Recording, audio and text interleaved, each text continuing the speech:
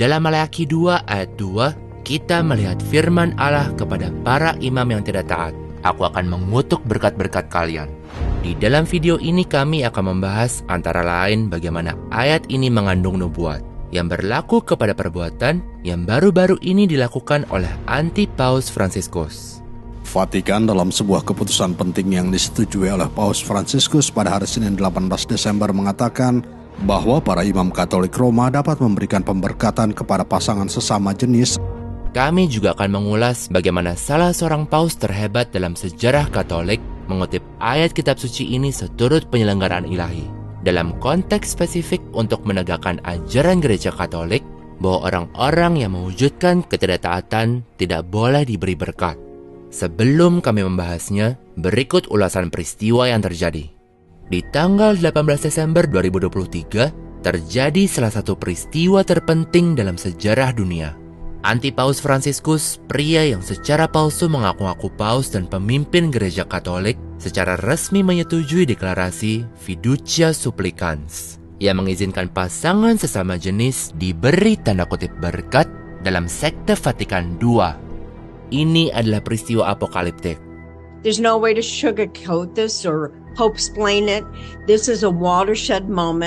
Makna peristiwa ini luar biasa dan sungguh jelas bagi mereka yang paham perkataan wahyu ilahi tentang aktivitas homoseksual. Meskipun kami tentunya mengharapkan pertobatan bagi mereka yang terlibat dalam perbuatan itu, aktivitas homoseksual dikutuk oleh Allah dan gereja Katolik sebagai perbuatan dosa berat dan salah satu dosa yang berteriak ke surga. Di dalam video ini saya ingin membahas beberapa informasi yang sangat penting tentang perkara ini. Bagi mereka yang belum tahu, Sekte Vatikan II yang beroperasi di bawah kepemimpinan anti Paus Franciscus bukanlah gereja Katolik, melainkan kontra gereja akhir zaman yang telah dinubuatkan, pelacur Babel seperti yang dijelaskan dalam materi kami. Sebelum kami di sini membahas beberapa prinsip utama, harap dicatat bahwa pada tanggal 2 Oktober 2023 hanya beberapa bulan lalu, tanggapan anti Paus Franciscus pada 11 Juli terhadap beberapa dubia atau keraguan telah dibuat publik. Salah satu pertanyaan yang diajukan berkenaan pemberkatan untuk kemitraan sesama jenis. Tanggapan Franciscus terhadap pertanyaan tersebut yang dikeluarkan pada bulan Oktober membuka pintu untuk memberkati kemitraan sesama jenis. Karena tanggapannya tidak berkata bahwa perbuatan itu dilarang. Tanggapan itu bahkan memungkinkan setiap tanda kutip imam untuk memutuskan apabila pemberkatan harus diberikan. Kami telah membahas perkara itu dalam sebuah video singkat pada awal Oktober lalu. Kami memberitahu orang-orang tentang kenyataannya dan dengan jujur melaporkan fakta-faktanya. Namun sebagai balasannya, berbagai orang pembohong dan pembela anti paus yang bidah itu berkata demikian. Oh bukan, bukan. Franciscus sama sekali tidak mengizinkan hal semacam itu, dan siapa saja yang mengklaim bahwa dia melakukannya bersaksi dusta. Faktanya, pembela anti paus satanik ini yang sebenarnya hanya juru bicara setan, pada waktu itu mengklaim bahwa tanggapan Franciscus yang dikeluarkan pada awal Oktober hanya mengizinkan pemberkatan bagi individu-individu dan bukan bagi pasangan sesama jenis. Pada bulan Oktober dan November 2023, Sebelum Fiducia Supplicans diterbitkan pada bulan Desember, si bidah ini menentang pemberkatan untuk pasangan sesama jenis. I would just simply submit that any blessing in public of one or more persons, especially if it's two people in public, is going to blur those lines. So if this is going to be done, it needs to be done to an individual, not to a couple, to avoid that um, that confusion and blurring of lines. Di bulan Oktober ia mengakui bahwa memberkati pasangan sesama jenis akan setara menyetujui aktivitas sesama jenis yang memang sudah jelas. Sekitar waktu itu dia juga mengakui bahwa pemberkatan pasangan sesama jenis adalah yang pada waktu itu sedang dilakukan oleh para tanda kutip uskup radikal asal Jerman yang menurut anggapannya bertentangan dengan ajaran Katolik. And now, uh, this German bishop issues a letter on last Thursday asking pastors in his diocese to bless same sex couples. Um, so, this bishop in Germany, Bishop Karl Heinz Weissman of Speyer, Germany, is the one who is uh, part of this uh, discussion. He's the one who is given the green light to this. itu terjadi sebelum si juru bicara setan dan orang-orang lain seperti dirinya sadar bahwa anti Paus Franciscus akan secara resmi dan spesifik menyetujui pemberkatan bagi pasangan sesama jenis yang dilakukan anti Paus Franciscus dalam Fiducia Supplicans pada bulan Desember. Ketika hal itu terjadi pada bulan Desember, mereka lalu mengubah argumen mereka dan dengan memalukan mulai membela tanda kutip pemberkatan bagi pasangan sesama jenis. But he goes as far as possible to offer blessings to same sex couples without compromising the faith. Jadi, mereka terjerat oleh kata-kata mereka sendiri yang tidak jujur dari beberapa bulan lalu. Amsal 12 ayat 13. Orang jahat terjerat oleh pelanggaran bibirnya. Sekarang, setelah diterbitkannya Fiducia Supplicans pada bulan Desember, tidak bisa diperdebatkan lagi bahwa anti Paus Franciscus telah resmi menyetujui tanda kutip pemberkatan bagi pasangan sesama jenis. I, I read a section that did make it seem like the couple Yes. can be blessed. It says it explicitly. Dalam dokumen yang sudah saya baca dengan saksama itu, kata pasangan disebutkan berulang kali. Pada nomor 31 ada disebutkan, tanda kutip, dalam khazanah pemahaman ini, muncul kemungkinan pemberkatan bagi pasangan yang berada dalam situasi irregular, tidak sah atau tidak sesuai hukum gereja, dan bagi pasangan sejenis. Namun bentuknya tidak boleh ditetapkan secara ritual oleh otoritas gerejawi agar tidak menimbulkan kerancuan dengan pemberkatan yang dimaksudkan bagi sakramen perkawinan. Kutip tutup. Seperti yang bisa kita lihat, Anti Paus Franciscus secara resmi menyetujui pemberkatan bagi pasangan sesama jenis. Maka Franciscus secara resmi mengajarkan bahwa dua pria dalam hubungan sodomi atau dua wanita dalam hubungan sesama jenis dapat diberkati bersama-sama oleh seorang tanda kutip imam. Itu sungguh kekejian yang luar biasa. Deklarasi Franciscus begitu keterlaluan, sehingga banyak tanda kutip uskup Novus Ordo sekalipun yang biasanya menerima segala macam bidah dan ekumenisme sesat memprotes deklarasi tersebut. African Catholic bishops are rejecting the Pope's stance when it comes to same sex relationships. The pushback against Pope Francis has been extraordinary. Some Catholic bishops in Africa and Poland say they will not implement the new Vatican policy allowing blessings for same sex couples. Perpecahan yang meluas di kalangan uskup palsu Sekte Vatikan II dalam masalah moral yang mendasar ini membuktikan bahwa Sekte Vatikan II bukanlah gereja Katolik. Sekte Vatikan II tidak memiliki kesatuan, kesatuan yang merupakan ciri khas gereja Katolik. The head of the Austria Bishops' Conference actually said, because he was asked, Will priests now be forced to do this? And he says, Well, in liturgical setting, must is always odd. What I can say is that they just can't say no. Whoa, what are you saying there? And various German bishops, of course, where we all knew they've been chomping at the bit for exactly this, are now all sorts of happy. One of them said this is a Christmas present for him. That was uh, the Bishop of Hamburg, Hesse. And let me tell you, I have been reading the blogs about what they're saying about this decision. While the gay blogs are very um, excited about this decision, Deklarasi anti Paus Franciscus juga menyetujui tanda kutip pemberkatan bagi pasangan yang hidup dalam zina dan percabulan, yang juga merupakan kekejian.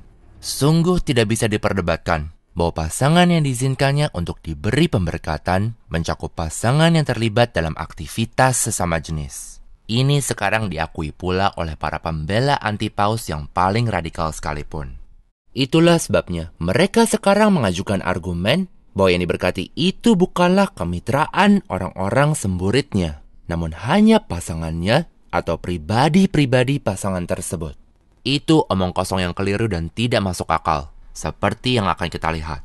Istilah pasangan menandakan dua orang yang berhubungan satu sama lain.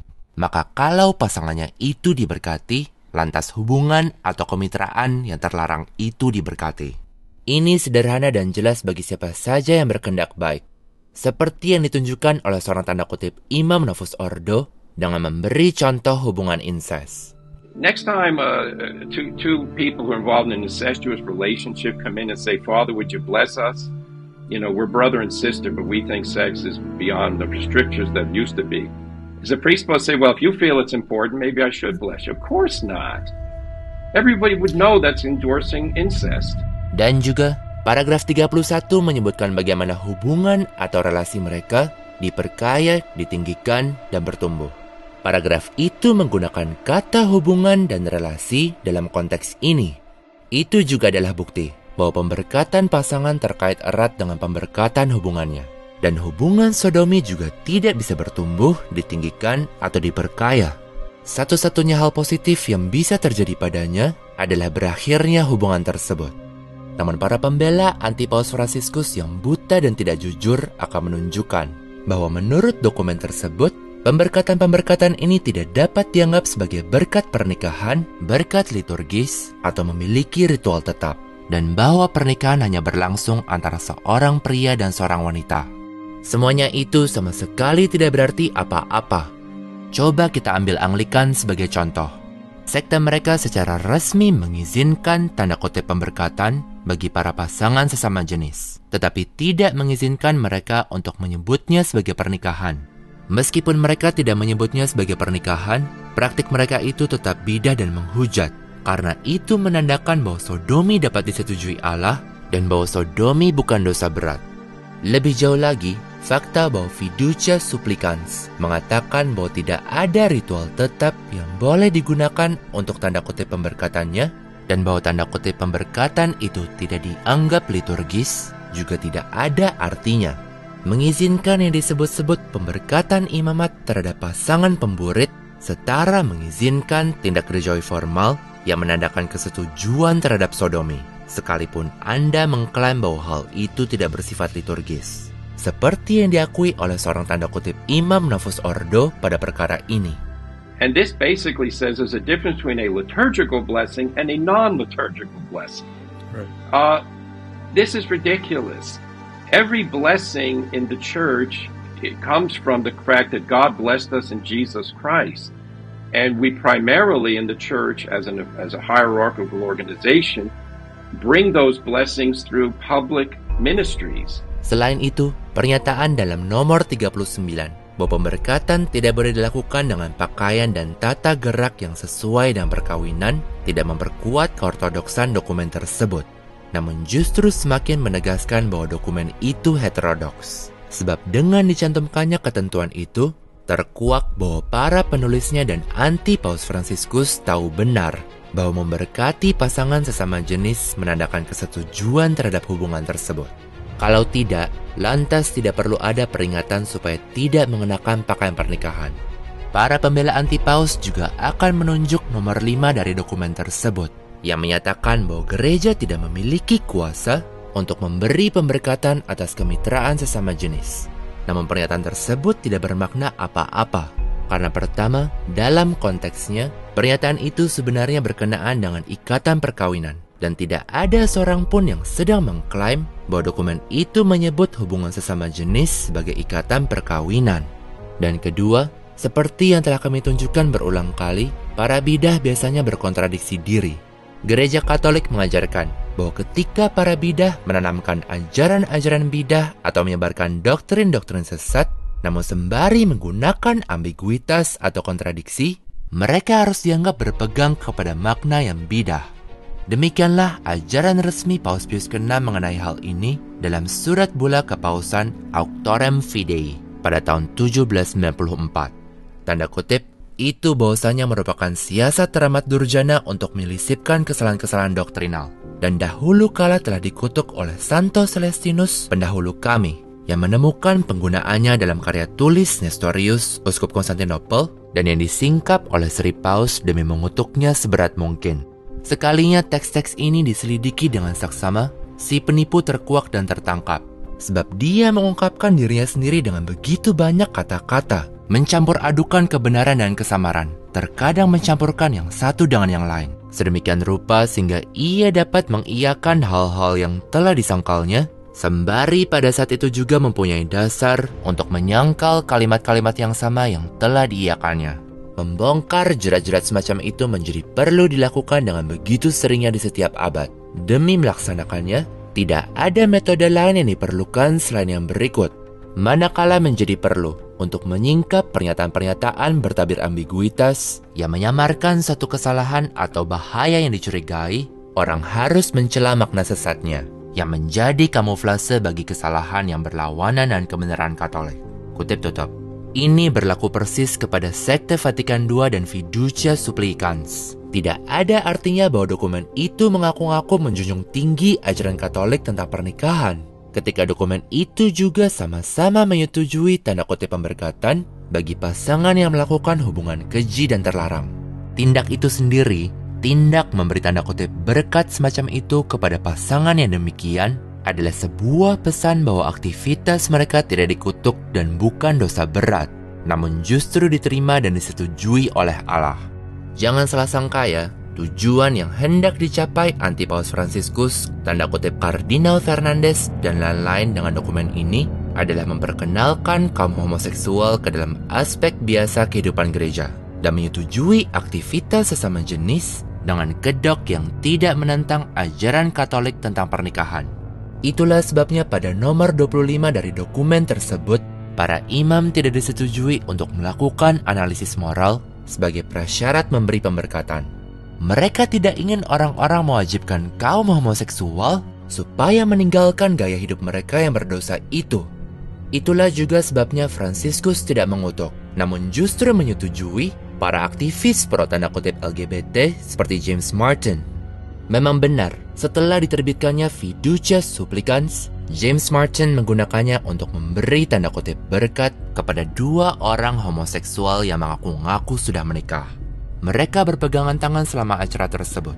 Perbuatan-perbuatan ini diketahui oleh Vatikan yang justru tidak menghentikannya, sebab anti Paus Franciscus menyetujuinya. Selesai sudah perdebatannya. Jadi, Mengapa Antipaus Franciscus dan Sekte Vatikan II ingin menyetujui sodomi dan aktivitas sesama jenis dengan memperkenalkan praktik tanda kutip pemberkatan yang keji ini melalui sebuah deklarasi resmi, sementara mengklaim secara menyesatkan bahwa mereka menjunjung tinggi ajaran Katolik tentang pernikahan. Alasannya, apa yang kita lihat sekarang adalah penggenapan nubuat kitab Wahyu tentang binatang atau Roma pagan yang kembali di akhir zaman dengan berpenampilan seperti gereja. Pada akhir zaman, yang kita lihat bukanlah Roma pagan secara jelas kentara. Yang sebaliknya kita lihat adalah Roma pagan yang datang kembali. Namun dengan kedok atau penampilan gereja melalui kontra gereja dan para penerus palsu Santo Petrus. Itulah yang dimaksudkan dalam nubuat kitab Wahyu, seperti yang dibahas dalam materi kami. Oleh sebab itulah Santo Yohanes merasakan keheranan yang besar ketika ia melihat pelacur Babel, seperti yang dijelaskan dalam materi kami. Karena nubuat ini adalah tentang Roma pagan yang kembali dengan penampilan atau kedok gereja, para pemimpin sesat pelacur Babel biasanya akan mencoba untuk mengerudungi bidah-bidah mereka dengan istilah Katolik tertentu serta kontradiksi dan ambiguitas. Sementara mereka mempromosikan agenda anti-Kristen dan jahat. Hal ini kami bahas dengan rinci dalam video-video kami. Ini benar-benar menjelaskan semua yang terjadi di Roma sekarang. Tontonlah antara lain video-video ini. Wahyu di Vatikan sekarang, lokasi bait Allah dan antikristus tersingkap, dan sang antikristus, tanda yang khas miliknya. Wahyu 17 juga menyatakan bahwa ketika orang-orang yang nama-namanya tidak tertulis di dalam kitab kehidupan melihat apa yang sedang terjadi, mereka akan keheranan Maksudnya mereka akan terkejut, kebingungan, dan takjub. Kita sudah melihat nubuat tersebut digenapi berulang-ulang kali oleh para pengikut kontra gereja Vatikan II pada beberapa tahun terakhir.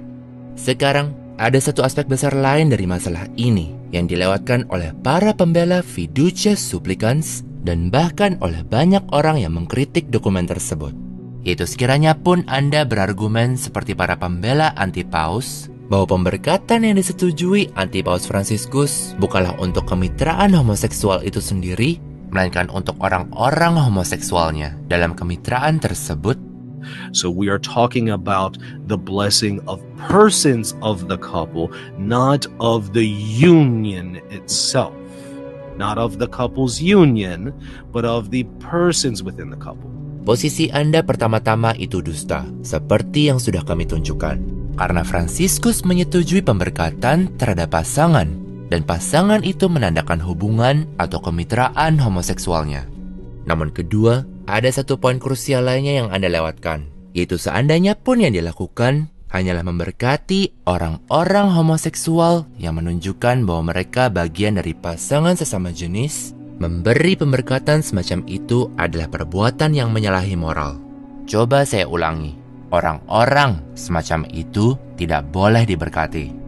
Hal ini telah dilewatkan oleh hampir semua orang yang sudah mengomentari Fiducia Supplicans dan bahkan oleh orang-orang yang mengkritiknya. Banyak dari mereka akan mengatakan hal-hal seperti ini Siapa saja boleh menerima berkat, tetapi pasangannya tidak boleh diberkati. I don't have a problem with blessing any individual on earth. I don't care if they're in Hamas or whatever. Like, if they want a priest to bless them, like, let's give some grace to that person. So, no matter who you're attracted to, we all need blessings from God to live out the Christian life. Amen? Tidak, mereka memberi terlalu banyak kelonggaran. Gereja tidak mengajarkan bahwa setiap orang dalam situasi apa pun boleh diberkati, dan saya ingin mengutip otoritas kepausan tentang hal ini. Saya sudah membaca kesembilan buku dalam register buku Paus Santo Gregorius ketujuh, serta yang disebut-sebut sebagai surat-surat pengembaranya. Santo Gregorius ketujuh adalah salah seorang paus terhebat dalam sejarah gereja. Ia berulang kali menunjukkan dalam surat-suratnya bahwa dirinya tidak akan memberi berkat kepada orang-orang yang mewujudkan ketidaktaatan. Sri Paus menunjukkan bahwa dia tidak dapat melakukannya supaya tidak melanggar hukum Allah. Sebelum mengutip Sri Paus, saya ingin membuat satu pembedaan. Ketika konteksnya baik, seperti pada misa sejati atau ketika umat Katolik sedang berziarah atau dalam konteks serupa, seorang imam dapat secara benar memberkati sekelompok orang tanpa tahu perbuatan-perbuatan pribadi setiap orang dalam kelompok tersebut di lain waktu. Karena dalam konteks diberikannya pemberkatan itu, tidak ada perwujudan ketidaktaatan atau kaitan dengan dosa berat. Tetapi dalam konteks seseorang berdosa berat atau mewujudkan ketidaktaatan berat terhadap gereja atau hukum Allah, misalnya ketika dua orang mengaku diri bagian dari pasangan homoseksual, memberi pemberkatan kepada seseorang atau beberapa orang seperti itu sama sekali dilarang dan adalah dosa berat. Memberkati seseorang atau beberapa orang dalam situasi itu menandakan bahwa orang atau beberapa orang itu mampu beroleh pengudusan atau berkenan kepada Tuhan sembari terlibat dalam ketidaktatan berat terhadap Allah. Oleh sebab itulah orang-orang seperti itu tidak boleh diberkati. Hal ini seharusnya sudah jelas. Kami omong-omong juga menemukan prinsip ini diterapkan dalam aturan Santo Benediktus bab 25. Tanda kutip, Seorang biarawan yang bersalah atas kesalahan berat hendaknya tidak diberkati oleh siapa pun yang lewat. Kutip tutup. Namun berikut beberapa kutipan dari Paus Santo Gregorius ketujuh yang semakin menggambarkan prinsip Katolik bahwa orang-orang yang melakukan ketidaktaatan berat tidak boleh diberkati. Kutipan terakhirnya sangat menarik dan menurut kepercayaan saya bernubuat. Paus Santo Gregorius ketujuh kepada para karyawan Romans, 21 Maret 1077. Tanda kutip, Sesuai dengan tuntutan otoritas suci, kami telah mengabaikan untuk mengirim salam dan berkat apostolik kepada Anda sekalian sebagaimana yang biasa dilakukan. Oleh karena ekskomunikasi yang tidak takut Anda dapatkan atas pelanggaran-pelanggaran Anda sekalian. Kutip tutup. Di sini Sri Paus berkata bahwa otoritas suci tidak mengizinkan dirinya memberi berkat apostolik kepada mereka yang diekskomunikasi. Ini seperti akan kita lihat berlaku bukan hanya bagi mereka yang diekskomunikasi, namun juga bagi siapa pun yang mewujudkan ketidaktaatan berat termasuk anggota umat beriman. Paus Santo Gregorius ketujuh kepada Uskup Hubertus pada akhir tahun 1080. Salam dan berkat apostolik jika ia tidak dengan sepengetahuannya melawan dekret-dekret tahta apostolik. Kutip tutup. Perhatikan ya, orang harus taat untuk menerima berkat. Paus Santo Gregorius ketujuh kepada para klerus dan umat sebuah gereja di Prancis tahun 1082 kepada para klerus dan umat gereja, dan terutama kepada Komes Robertus yang mulia. Salam dan berkat apostolik jika mereka taat. Kutip tutup. Coba perhatikan sekali lagi, mereka yang tidak taat tidak diberkati. Paus Santo Gregorius ketujuh kepada para kanonik Santo Martinus. Tanda kutip, karena kami telah mendengar bahwa Anda sekalian tidak menaati para legatus kami dan uskup agung Anda, namun telah mengusir uskup agung itu dan karena kami telah mengetahui bahwa karena kesalahan Anda, Anda telah diekskomunikasi oleh mereka, lantas kami belum berani mengirimkan salam dan berkat apostolik kepada Anda sekalian. Kutip tutup. Paus Santo Gregorius ketujuh kepada Raja Henrikus keempat tahun 1075. Jika laporan ini benar, Anda sendiri tahu bahwa diri Anda tidak dapat menerima rahmat dengan berkat ilahi maupun apostolik. Kecuali jika mereka yang telah diekskomunikasi telah dibuang dari diri Anda dan dipaksa berpenitensi. Dan Anda pertama-tama telah menerima absolusi dan pengampunan atas pelanggaran Anda dengan duka cita dan penyelihan yang layak. Kutip tutup. Kami bisa mengutip perikop-perikop lain dari paus yang sama ini. Namun coba perhatikan perikop ini baik-baik. Kutipan ini bernubuat. Paus Santo Gregorius ketujuh kepada para umat beriman di Italia dan Jerman tahun 1079. Tanda kutip, Gregorius Uskup, hamba dari para hamba Allah, kepada semua orang yang menunjukkan ketaatan yang layak kepada Santo Petrus. Di seluruh kerajaan Italia dan Jerman, salam dan berkat apostolik. Adapun para imam, diakon, dan subdiakon yang bersalah atas kejahatan percabulan, atas nama Allah yang Maha Kuasa dan dengan otoritas Santo Petrus, kami melarang mereka masuk ke dalam gereja sampai mereka bertobat dan berbenah diri. Jikalau ada yang memilih untuk tetap tinggal dalam dosa mereka, janganlah ada di antara Anda sekalian yang berani menghadiri ofisi-ofisi mereka, karena berkat mereka telah menjadi kutuk dan doa mereka telah menjadi dosa, seperti yang telah difirmankan Tuhan melalui sang nabi yang berkata, Aku akan mengutuk berkat-berkat kalian. Malaki 2 ayat 2. Kutip tutup. Ini sangat menarik. Paus Santo Gregorius ketujuh mengutip Malaki 2 ayat 2 sehubungan kutuk Allah terhadap berkat yang diberikan orang-orang yang terlibat dalam percabulan atau dosa-dosa seksual. Itu tentu saja berlaku secara langsung dan saya percaya secara bernubuat pada deklarasi anti Paus Franciscus Fiducia Supplicans yang secara khusus mengizinkan diberkatinya orang-orang yang hidup dalam percabulan dan zina, yaitu pasangan dalam situasi irregular dan juga tanda kutip pasangan sesama jenis. Maka akibat kesetujuan mereka, para imam palsu itu menjadi terlibat dalam kejahatan percabulan dan dosa seksual. Dan dengan demikian tanda kutip berkat mereka menjadi kutukan persis seperti yang dikatakan oleh Paus Gregorius ketujuh dalam mengutip Nabi Malaki. Jadi, gereja Katolik sejati dan Paus sejati yang berbicara dengan suara Santo Petrus untuk membela iman Kristiani sama sekali membuang mereka yang secara terbuka terlibat dalam percabulan, sehingga mereka tidak diberkati dan menyuruh mereka pergi sampai mereka bertobat, membenahi hidup mereka serta bersedia mengaku dosa. Sedangkan kontra gereja apokaliptik Vatikan II justru melakukan yang sebaliknya, dengan memberi berkat kepada orang-orang yang terlibat dalam percabulan dan zina, dan yang lebih buruk lagi, dalam aktivitas homoseksual dan tindak-tindak melawan kodrat. Yang disebut-sebut pemberkatan dari kontra gereja Vatikan II itu dengan demikian menjadi kutukan, seperti yang dikatakan Malaki. Coba perhatikan pula, surat Paus Santo Gregorius ketujuh ini ditujukan kepada para umat beriman di Italia dan Jerman. Saya tidak percaya bahwa itu hanya satu kebetulan. Saya percaya bahwa itu adalah tindak penyelenggaraan ilahi dan bernubuat. Karena dua negara manakah yang paling terkenal dengan tanda kutip pemberkatan pasangan sesama jenis serta mereka yang hidup dalam zina dan percabulan? Jawabannya adalah Italia dan Jerman. Jerman tentunya telah menjadi negara paling terkenal dalam memberi tanda kutip pemberkatan semacam itu akibat perbuatan-perbuatan uskup palsu mereka selama beberapa waktu sehubungan hal ini. Turning to Germany, the country's top bishop is explicitly condoning sexual sin. Limburg's Bishop Georg Betzing, president of the German Bishops' Conference, published a so called sex education guide last week, promoting the blessing of homosexual couples. Italia pun sekarang menjadi lebih terkenal dalam memberi tanda kutip pemberkatan itu karena anti Paus Franciscus, pemimpin pelacur Babel apokaliptik pada saat ini, baru-baru ini resmi menyetujuinya di Roma, Italia untuk seluruh kontra gereja. Kutipan Paus Santo Gregorius ketujuh dari Malaki 2 ayat 2 dalam konteks ini juga bernubuat.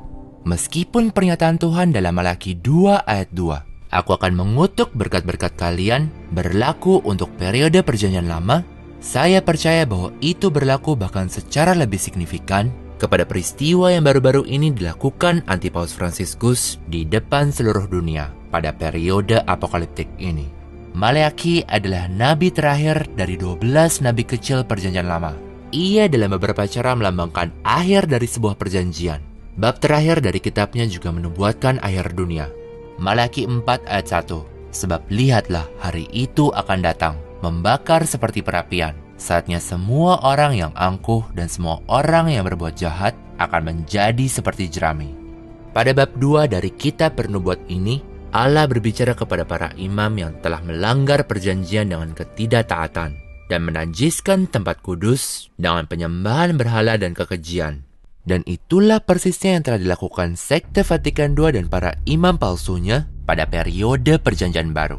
Di dalam Malaki bab 2, Allah memberitahu para imam yang telah melanggar perjanjian dan menajiskan tempat kudus. Aku akan mengutuk berkat-berkat kalian.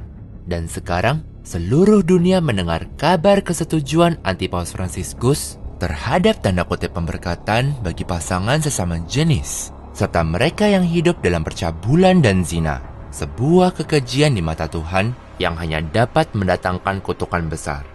Kaitannya ini sangat mengejutkan. Meskipun bahwasanya tidak ada orang yang tahu hari dan jamnya, saya percaya bahwa kesetujuan Antipaus Franciscus terhadap kekejian ini merupakan tanda peringatan akhir zaman yang besar. Kini, Antipaus Franciscus sudah resmi menyetujui sebuah tindak pseudo-gerejawi yang akan dilakukan para tanda kutip imam yang mengolok-olok pernikahan dan berusaha membenarkan dosa keji yang berteriak ke surga. Apakah ini akan menjadi salah satu hal terakhir yang akan mendatangkan murka Allah yang membinasakan secara jasmania?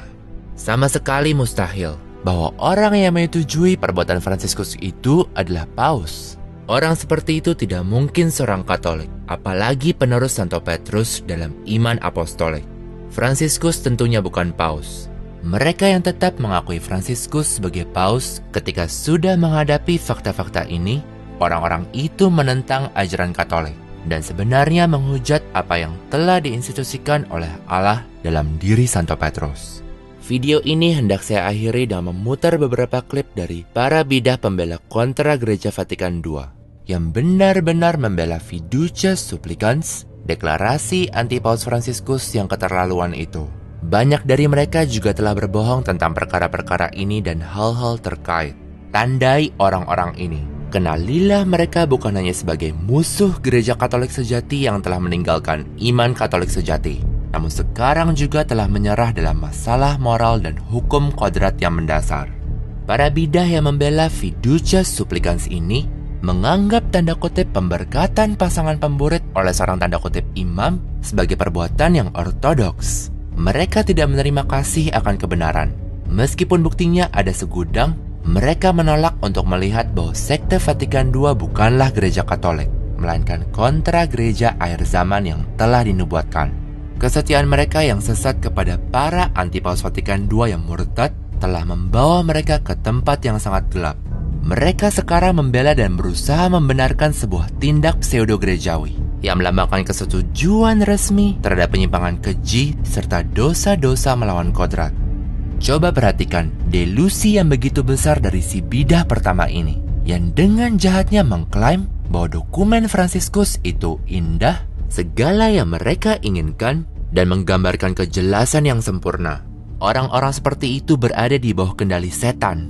The literally the document is so beautiful and so well written. I mean, Pope Francis has received a lot of criticism, and sometimes rightly so, for being ambiguous, confusing, and not clarifying certain things. But this document is not that. It's literally the opposite in everything we've ever wanted. Perfect clarity. I, I read a section that did make it seem like the couple Yes. can be blessed. It says it explicitly, Do you think Pope Francis is lowering the bar? not well? in a doctrinal Yeah. way. I read the document paragraph by paragraph, line by line, word by word. I even paid attention to some of the punctuation. And to me, what's written here is excellent. The document is orthodox in principle. Well, isn't that exactly what the Pope did with Fiducia Supplicans? he upholds the traditional faith, but he goes as far as possible to offer blessings to same sex couples without compromising the faith. Untuk menganut iman Katolik sejati dan diselamatkan, orang harus menganut iman Katolik tradisional, seperti yang dijelaskan dalam materi kami.